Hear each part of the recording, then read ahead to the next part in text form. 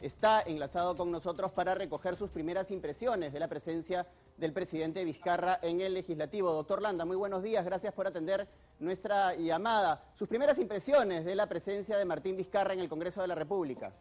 con los requerimientos que la Constitución prevé y el reglamento del Congreso para llevar a cabo esta audiencia del Pleno en la moción de acusación por la vacancia presidencial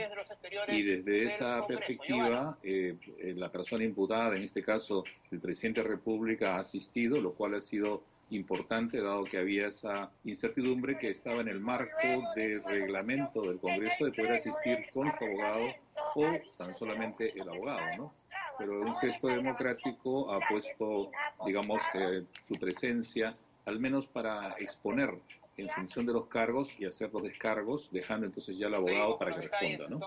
Claro, ahora, doctor, hay que dejar en claro que esta era una prerrogativa del presidente de la República, es decir, él no tenía ninguna obligación de asistir al Congreso, puesto que esto era un acto de defensa. Él podía asistir como podía enviar solamente a su abogado, ¿es así?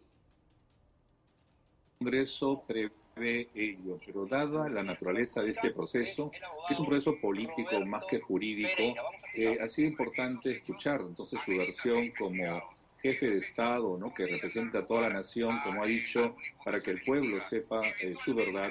eh, sin perjuicio del argumento jurídico que hará ya el abogado y el debate que hará el Parlamento, lo cual creo que refuerza la necesidad de que exista además entre los poderes del Estado un diálogo que no solamente sea frente a ataques, sino también frente a la lucha contra la pandemia, ¿no? como ha planteado el presidente. Doctor, le pediría que baje por favor el, volumen del audio de, de, lo que esté escuchando porque se está filtrando eh, en nuestra entrevista, aparentemente es el televisor o la computadora y eh, no nos está dejando escucharlo bien. Definitivamente esto es un acto político y definitivamente en el fuero parlamentario lo que se está viendo, este gesto político tiene un peso importante y además ante la opinión pública, qué duda cabe que la presencia del presidente Vizcarra tiene una configuración política y además la forma como él ha llegado de manera sorpresiva cuando todos pensábamos que iba a viajar de frente a la región La Libertad sin asistir al Congreso de la República, marca y tiene un peso importante dentro de todo este proceso, ¿verdad?